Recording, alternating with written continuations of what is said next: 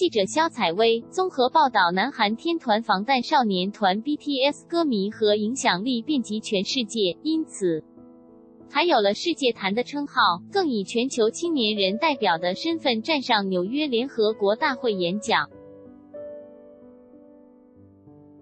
高人气让许多粉丝梦想住能亲眼看到他们的演唱会。就有一名十二岁女孩为了见到本人，靠诚心和行动让爸爸放行。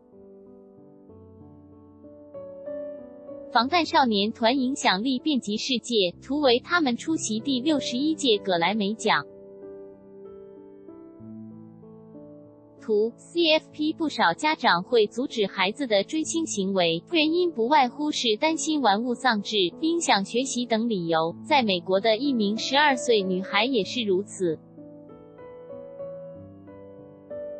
他在知道防弹少年团新巡回 LOVEYOURSELFSPEAKYOURS。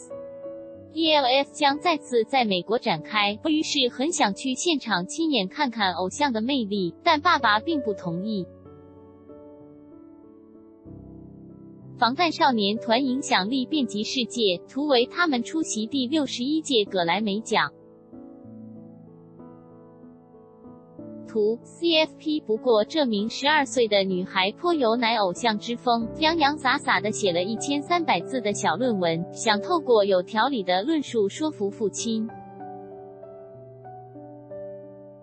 他在文章中不止写到防弹少年团的音乐理念，以及提及南韩的兵役法，说明这可能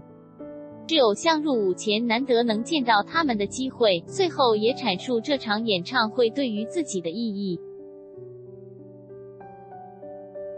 十二岁女孩写一千三百字论文，说服爸爸让她去看防弹少年团演唱会。图翻摄自推特，女孩拿住一千三百字的小论文，同时努力的口头说服父亲，还拿出自己优秀成绩证明喜欢偶像并不影响学业，而这幕全被姐姐拍摄下来。姐姐将这段影片放上推特，并表示：“我妹想要去看 BTS 的演唱会，特地通宵写了一千三百字的小论文。”此外，还发表了三分钟的演说，甚至准备了合约书。最后，他被准许前往 LA 美国洛杉矶了。